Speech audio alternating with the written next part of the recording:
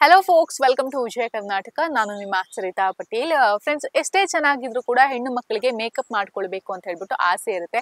ಕೆಲವರು simple May basic makeup ಅನ್ನ ಮಾಡ್ಕೊಂಡ್ರೆ ಇನ್ನು ಕೆಲವರು ಓವರ್ ಆಗಿ ತುಂಬಾ ಹೆಚ್ಚಾಗಿ ಮೇಕಪ್ ಅನ್ನ ಮಾಡ್ಕೊಳ್ತಾರೆ. ಲೈಕ್ ಈಗ ಫೌಂಡೇಶನ್ ಅನ್ನ ಜಾಸ್ತಿ ಹಾಕೊಳ್ಳುವಂಥದ್ದು ಅಥವಾ ಪೌಡರ್ ಅನ್ನ ಜಾಸ್ತಿ ಬಳಸೋದು ಡಾರ್ಕ್ ಆಗಿ ಕಾಜಲ್ ಹಾಕೊಳ್ಳೋದು ಲಿಪ್ಸ್ಟಿಕ್ ಕೋಟ್ ಮೇಲೆ ಕೋಟ್ ಹಾಕೊಳ್ಳುವಂಥದ್ದು ಹೀಗೆ ಪ್ರತಿದಿನ ಹಚ್ಕೊಳ್ಳೋದ್ರಿಂದ ಮೇಕಪ್ ಮಾಡ್ಕೊಳ್ಳೋದ್ರಿಂದ ಸ್ಕಿನ್ಗೆ ಯಾವ ರೀತಿಯ ಪ್ರಾಬ್ಲಮ್ಸ್ ಆಗುತ್ತೆ ಅಂತ ಹೇಳ್ತಾ ಹೋಗ್ತೀನಿ. ಮೊದಲನೇದಾಗಿ ಮುಖದಲ್ಲಿ ಓಪನ್ ಪೋರ್ಸ್ ಮತ್ತು ಪಿಂಪಲ್ಸ್ ಶುರುವಾಗುತ್ತೆ. ಸೊ ಒಂದೆರಡು ಪಿಂಪಲ್ ಆಗೋ ಜಾಗದಲ್ಲಿ ನಾಲ್ಕೈದು ಪಿಂಪಲ್ಸ್ ಹೆಚ್ಚಾಗ್ತಾ ಹೋಗುತ್ತೆ. ಆಮೇಲೆ ಓಪನ್ ಪೋರ್ಸ್ ಆದರೆ ಅದನ್ನ ಕರೆಕ್ಟ್ ಮಾಡ್ಕೊಳ್ಳೋದಕ್ಕೆ ತುಂಬಾನೇ ಟೈಮ್ ಬೇಕು. ಹಾಗಾಗಿ ಮೇಕಪ್ ಅನ್ನ ಹೆಚ್ಚಾಗಿ ಬಳಸಬಾರ್ದು ಅಂತ ಹೇಳ್ಬಿಟ್ಟು ತುಂಬಾ ಜನ ಸಜೆಸ್ಟ್ ಮಾಡ್ತಾರೆ. ಇನ್ನು ಸೆಕೆಂಡ್ ಥಿಂಗ್ ಅಂತ ಹೇಳಿದ್ರೆ ಈಗ ಮುಖದಲ್ಲಿ ಡ್ರೈನೆಸ್ ಹೆಚ್ಚಾಗ್ತಾ ಹೋಗುತ್ತೆ. ಸೊ ಮುಖ ಒಡೆಯೋದಕ್ಕಿಂತ ಒಂಥರ, ಈಗ ಡಿಹೈಡ್ರೇಟ್ ಆದಾಗ ನಿಮ್ಮ ಸ್ಕಿನ್ ಯಾವ ತರ ಡ್ರೈ ಇರುತ್ತೆ, ಅದೇ ತರ ಮೇಕಪ್ ಹಾಕಿದಾಗ್ಲೂ ಕೂಡ ಡ್ರೈ ಆಗಿ ಡಿಹೈಡ್ರೇಟ್ ಆಗುತ್ತೆ. ಮಾ, ಎಷ್ಟೇ ಮಾಯಶ್ಚರೈಸ್ ಮಾಡಿದ್ರು ಕೂಡ ಡ್ರೈನೆಸ್ ಹಾಗೆ ಇರುತ್ತೆ. ಹೆಚ್ಚಾಗಿ ಮೇಕಪ್ ಅನ್ನ ಬಳಸೋದ್ರಿಂದ. ಇದರ ಜೊತೆಗೆ ಸ್ಕಿನ್ನಲ್ಲಿ ಇರಿಟೇಷನ್ ಆಗಿರ್ಬೋದು ಇಚ್ಚಿಂಗ್ ಕೂಡ ಜಾಸ್ತಿ ಆಗುತ್ತೆ. ಕೆಲವೊಬ್ಬರಿಗೆ ತುರಿಕೆ ಸ್ಟಾರ್ಟ್ ಆಗುತ್ತೆ. ಚಿಕ್ಕ ಚಿಕ್ಕ ಗುಳ್ಳೆಗಳು ಪಿಂಪಲ್ಸ್ ಅಂತ ಹೇಳೋಕ್ಕಾಗಲ್ಲ. ತುರಿ ತುರಿ ಇರುತ್ತೆ. ಸೊ ಎಲ್ಲ ಕಡೆನೂ ಗುಳ್ಳೆಗಳು ಸ್ಟಾರ್ಟ್ ಆಗುತ್ತೆ. ಅದನ್ನ ಕಡಿಮೆ ಮಾಡ್ಕೊಳ್ಳೋದಕ್ಕೆ ನಾವು ಮತ್ತೆ ಅದಕ್ಕೆ ಒಂದಿಷ್ಟು ರೆಮಿಡಿಗಳನ್ನ ಮಾಡಬೇಕು ಅಥವಾ ಟ್ರೀಟ್ಮೆಂಟ್ ಅನ್ನ ತಗೊಳ್ಬೇಕು. ಇನ್ನು ಕೆಲವರಿಗೆ ಈ ಮೇಕಪ್ ಜಾಸ್ತಿ ಆದಾಗ ಮುಖದಲ್ಲಿ ಕಲೆಗಳು ನ್ಯಾಚುರಲ್ ಆಗಿ ಕಲೆಗಳು ಶುರುವಾಗ್ತಾ ಹೋಗುತ್ತೆ. ಅದು ಕೂಡ ಒಂದು ಮೇನ್ ಪ್ರಾಬ್ಲಮ್ ಅಂತ ಹೇಳೋದಕ್ಕೆ ಇಷ್ಟಪಡ್ತೀನಿ. ಇನ್ನು ಬರೀ ಮೇಕಪ್ ಅಂತ ಅಲ್ಲ, ಈಗ ಮೇಕಪ್ ಮಾಡ್ಕೊಂಡಾಗ ಹೇರ್ ಸ್ಟೈಲ್ ಕೂಡ ಮಾಡ್ಕೊಳ್ಬೇಕಾಗಿದೆ ಸೊ ಚೆನ್ನಾಗಿ ಮೇಕಪ್ ಮಾಡ್ಕೊಂಡು ಕೂದಲು ಹಾಗೆ ಬಿಟ್ಕೊಂಡ್ರೆ ಚೆನ್ನಾಗಿ ಕಾಣಿಸಲ್ಲ.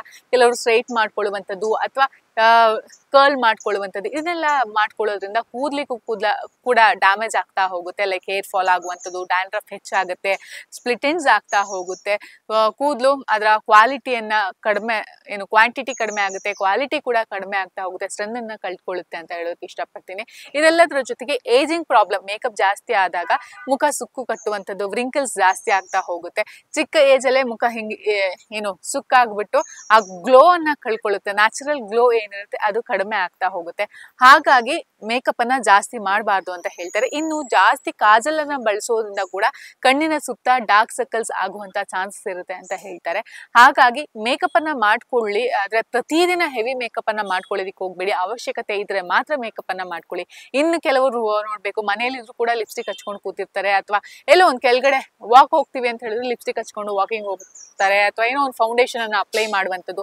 ಆಮೇಲೆ ಕೆಲವರು, ಇನ್ನು ಕೆಲವರು ಈ ಫೌಂಡೇಶನ್ ನಿಂಗೆ ಮ್ಯಾಚ್ ಆಗ್ತಾ ಇದು ಮ್ಯಾಚ್ ಆಗ್ತಾ ಅಂತ ಹೇಳ್ಬಿಟ್ಟು ಆಗಾಗ ಫೌಂಡೇಶನ್ ಅನ್ನ ಚೇಂಜ್ ಮಾಡ್ಕೊಳ್ಳುವಂಥದ್ದು ಬ್ರ್ಯಾಂಡ್ಗಳನ್ನ ಚೇಂಜ್ ಮಾಡ್ತಾ ಇರ್ತಾರೆ. ಇದರಿಂದ ಕೂಡ ಪಿಂಪಲ್ಸ್ ಆಗುವಂತ ಚಾನ್ಸಸ್ ಜಾಸ್ತಿ ಇರುತ್ತೆ. ಮುಖ ತನ್ನ ನ್ಯಾಚುರಲ್ ಗ್ಲೋ ಅನ್ನ ಕಳ್ಕೊಳ್ಳುತ್ತೆ. ಹಾಗಾಗಿ ಯಾವಾಗ್ಲೂ ನೀವು ನ್ಯಾಚುರಲ್ ಆಗಿ ಇರಿ, ತುಂಬಾ ಚೆನ್ನಾಗಿ ಕಾಣಿಸ್ತೀರಾ. ಮೇಕಪ್ ಮಾಡ್ಕೊಳ್ಬೇಡಿ ಅಂತ ಹೇಳಲ್ಲ ಬಟ್ ಜಾಸ್ತಿ ಮಾಡ್ಕೊಳ್ಳೋದಕ್ಕೆ ಹೋಗ್ಬೇಡಿ ಅಂತ ಹೇಳ್ತಾ ಈ ವಿಡಿಯೋವನ್ನ ಮುಗಿಸ್ತಾ ಇದ್ದೀನಿ.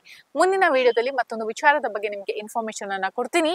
Signing off Sarita Patel. Bye bye and Vijaya ಕರ್ನಾಟಕವನ್ನ follow ಮಾಡೋದನ್ನ ಮರಿಬೇಡಿ.